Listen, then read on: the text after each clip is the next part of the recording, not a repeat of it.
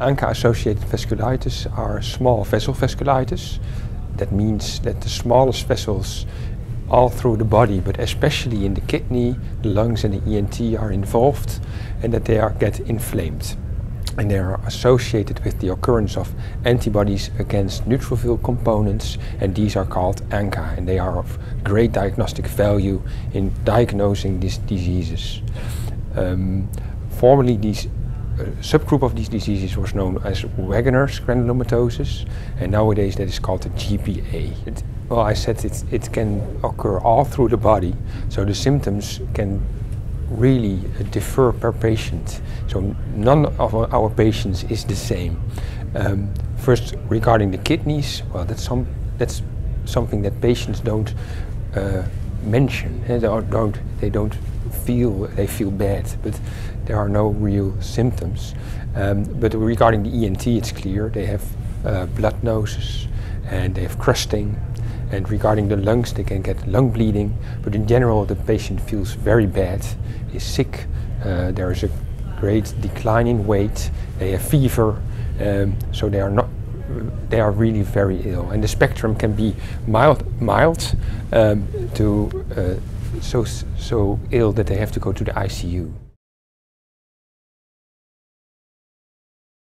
In the, in the past, people died of it. Uh, and uh, in the 70s of last century, um, we found that cyclophosphamide in combination with corticosteroids could bring the disease in, re in remission. But these drugs, especially cyclophosphamide, is very toxic. So patients had cumulative dosages of cyclophosphamide and, well, the, the toxicity of the drug was, was uh, severe. So after that uh, recognition, um, cyclophosphamide was replaced by milder um, immunosuppressants like azathioprine, methotrexate and the MMF. Uh, so nowadays the, the therapy consists of two stages. First an induction phase, often with, with uh, cyclophosphamide, cyclophosphamide, but nowadays also with rituximab, and subsequently a maintenance stage in which patients are treated with, for instance, and especially azathioprine. What's the difficulty with this disease is that we don't know what patient needs a maintenance therapy for what time because it's a chronic relapsing disease. So after stopping the immunosuppressive medication, there is the risk of a relapse. Uh, and you can say that approximately 50% of patients relapses within five years.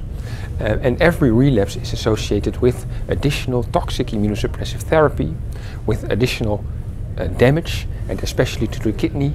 Um, every relapse makes the chance bigger of uh, becoming, of getting end-stage renal disease.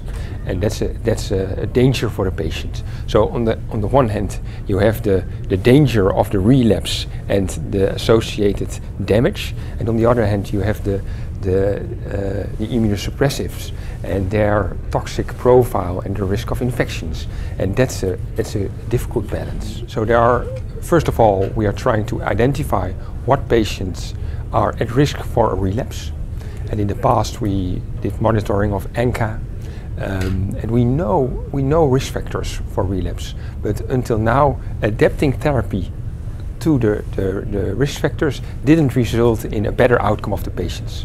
Our patients, unfortunately. Rituximab is an, is an alternative therapy, which I, I already mentioned. It is as effective as cyclophosphamide inducing uh, remission of disease, but the toxicity was the same. Um, but there has been a, a trial the, which was last week published in the New England Journal of Medicine from France, and that trial showed that maintenance with rituximab, maintenance therapy with rituximab, was more effective than maintenance with azathioprine and reduced the, the number of relapses. So that's really very interesting uh, observation uh, and new trials will try to Uh, explore this. So maybe that's, that's the way to go.